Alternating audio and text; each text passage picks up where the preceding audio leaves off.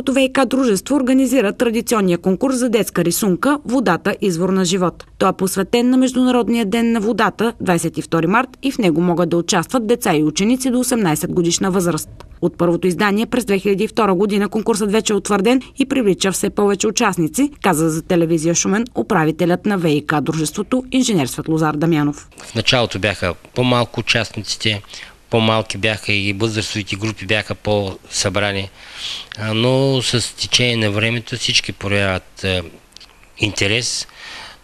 Училищата, кръжоците по рисувани, които са във всички училища, има също проявят значителен интерес и в последните години се събират от порядъка между 400 и 500 рисунки, и то много добри рисунки. И тази година жури от художници ще оценяват творбите, които могат да бъдат изработени с различни техники. Има обаче и нов момент, разкри управителят на ВИК. Тази година решихме да дадем и малко благотворителност на тази цялата инициатива, а, като ще организираме откупка на картините на децата, и парите, които са събрани, ще бъдат за благотворителна цел. Отличените автори в отделните възрастови групи ще получат предметни и парични награди. Рисунки се приемат до 16 март, включително на адреса на ВК Шумен, площад Войн, номер 1. Отчитането на конкурса ще бъде на 22 март. Подробности за регламента са оповестени на интернет страницата на водното дружество. Християните в Каспичан очакват с нетърпение откриването на православния храм Свети Пантереймон. За завършване на градежа обаче трябват още пари, които се набират чрез дарителска кампания. Тя започна в края на февруари и ще завърши на 11 март с концерт под патронажа на народния представител Ралица Тоторова и Варнеския и Великопреславски митрополит Йоан. От досегашните кампании са събрани над 220 000 лева, които са вложени в градежа на храма. Църквата е съградена като груп строеж, измазана е отвън, в момента се доизмазва и тук вътре като разбира се има още довършителни работи, което пък а, провокира а, инициирането на нова кампания, която започна тези дни и чиято кулминация ще бъде на 11 март с а, концерта, който ще се проведе в Каспичанското читалище.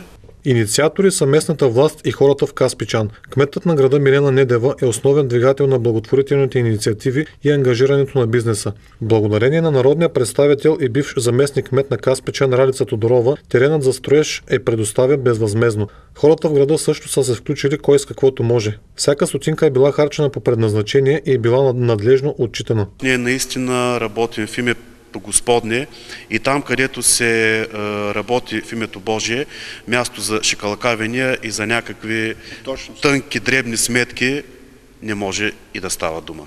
Отец Андрей подчерта, че ще бъде изработена дарителска книга, в която ще бъдат описани всички дарители и събраните суми.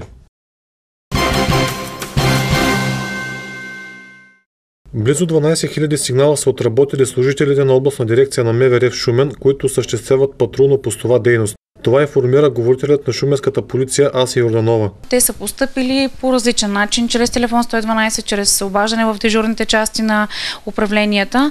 От тях за нарушение на нощната тишина и нарушаване на обществения ред са 839 сигнала, за нарушение на обществения ред са 2714, 195 са получените сигнали през годината за нарушение на общинските наредби и за извършени престъпления през годината са получени 800 78 съобщения. От полицията изнесоха информация и за възникналите катастрофи през миналата година.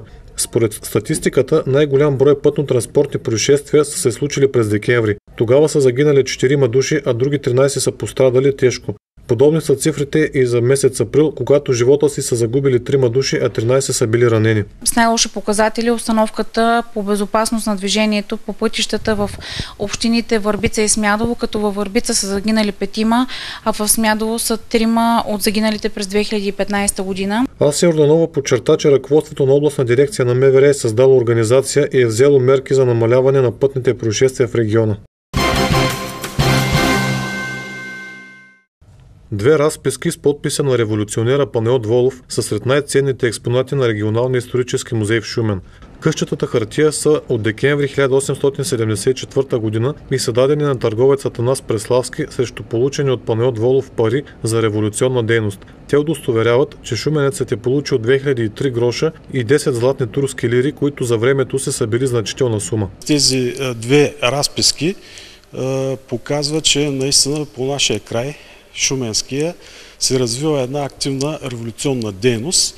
И най-интересното, че тези важни документи са останали за нашите, за нашите съграждани, тъй като по това време е много опасно да се движиш с такива разписки в себе си, тъй като при едно евентуално залавяне Танас Преславски така ще го очаква смъртно наказание. Двете разписки са придружени от писмо от възрожденския деец Харалан Ангелов, който след освобождението става депутат във Великото народно събрание. С него той информира Танас Преславски, че парите от двете разписки ще му бъдат възстановени от държавната хазна.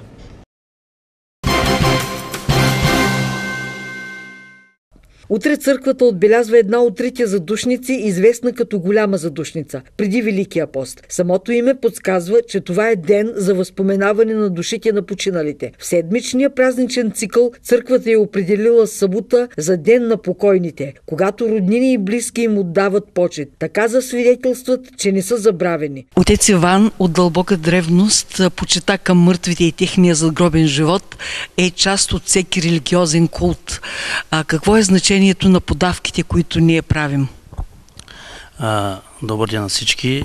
Искам да кажа, че наистина навлизаме в а, един такъв период, когато ние трябва да се подготвим за стата за душница. А, подавките, които ние подаваме всъщност, а, не ги подаваме за а, нашите близки роднини. Това, което е много важно да се знае, че а, почета към починалите има още от много голяма древност.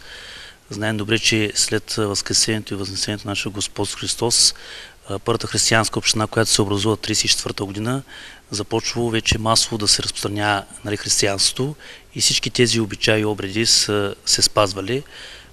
Избираме съботата, защото съботата е, църквата учи, тогава е ден на починалите и всъщност тогава ние всички се подготвяме, идваме първо в църквата, извършва света божествена литургия, всички миряни и християни, които имат възможност, идват в храма Божий и, се подават, подават се пишат имена за здраве и за починали, като на починалите всъщност се отдават се и подавки, които подавки след края на службата на панахирата се раздават за упокоение на душите на тези хора. Подавката може да бъде всякаква да бъде, но когато е, нали, може да бъде с вафлички, с някой краставичка, сиренци, но това няма никакво значение. Важно е молитвата, която трябва да се направи от свещеника.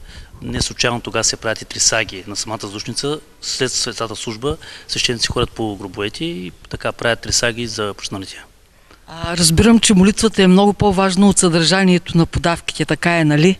Така е, затова иска да кажа, че може човек да подари и една питка е достатъчно, може човек да подари и жито само достатъчно, може човек да подари и жито, хляб и каквото иска, но ако няма молитва, всичко се обезмисля. Не случайно определението за молитва е, молитвата е най-тясната връзка между Бог и човек. Ако няма молитва, всичко се обезмисля. Не случайно в молитва, която се пее на, която се служи на панахирата, се казва, нека Бог да засили там, дет няма нито болка, ни печал, ни въздишка. Защото трябва да знае много добре, е много важно да се знае, че болката и печалът и въздишката са на земята. Ето и отговора на Богослови с какво можем да помогнем на починалите, за да стане тяхната участ по-добра. Само с молитва за тях и правене милостина в тяхна памет.